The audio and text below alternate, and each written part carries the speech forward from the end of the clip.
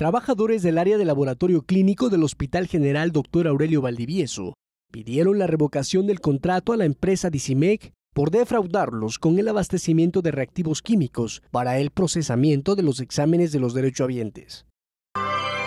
Eh, la problemática que tenemos es, eh, primero, eh, me preocupa el hecho de como jefe de laboratorio, el personal no cuente con el material de seguridad para poder hacer la toma de muestras de forma correcta y en forma segura. Eso es lo más elemental. No se está dotando al personal de material para su bioseguridad. Eh, por otro lado, me preocupa el hecho de que eh, como empresa quieren ellos imponer políticas de trabajo cuando no hay gente con líderes de opinión o gentes que conozcan del área clínica. Son abogados, son ingenieros, son licenciados. Y eh, pues también no se ha cumplido con lo pactado en las bases y en los lineamientos licitatorios. De alguna manera me expresan que no hay controles, que se tiene que subrogar un analito, de que se les limita el material para hacer sus procesos, que los equipos se descomponen, no hay quien los atienda. Por otro lado, se había acordado que eh, tenían ellos 45 días para que el 100% de la plataforma que se había acordado estuviera en funciones.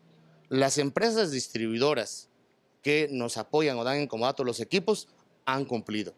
¿Cuál es el problema? En el momento de la Junta de Aclaraciones, ellos no mandaron gente con capacidad de diserción para interpretar lo que dicen obviamente las bases. Además de no poder cubrir las necesidades del nosocomio, supuestamente por falta de recurso financiero, a pesar de que mediante una licitación pública se le otorgaron 4.6 millones de pesos de pago mensual, la empresa Dicimet, que surtiría una lista de requerimientos, pretende imponer sus políticas de seguridad en materia de salud, cuando en realidad ninguno de los líderes conoce del tema.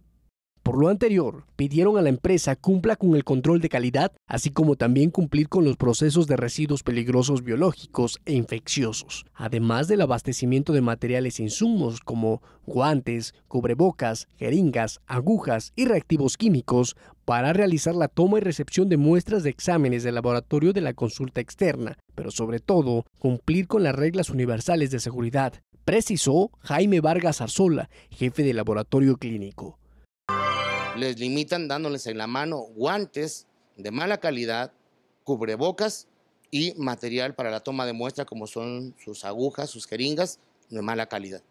Entonces, esa es la preocupación la cual me sensibiliza, la cual yo de alguna manera he platicado con las autoridades, que radica en el hecho de que no mandaron personal como empresa Centrum, Dicimed, que es lo mismo, para que pudieran debatir.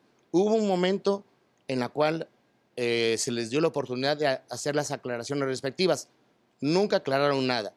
Sin embargo, las demás empresas sí lo hicieron. Por este motivo dijo que más de 400 usuarios programados se quedarán este martes 31 de julio sin ser atendidos por el paro de labores que este nosocomio realiza. Con estas acciones de la empresa, tal pareciera que quisieran afectar la salud de los derechohabientes e incluso del mismo personal médico.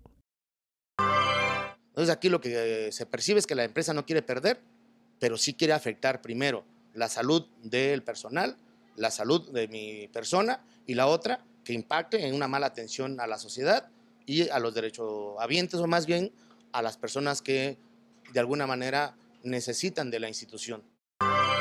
Comentó también que será en las próximas horas cuando sepan si continúan en el paro o las autoridades competentes resuelvan a favor de su demanda. Con imágenes de Pablo Cruz, informó para MBM Televisión Deimo Sánchez.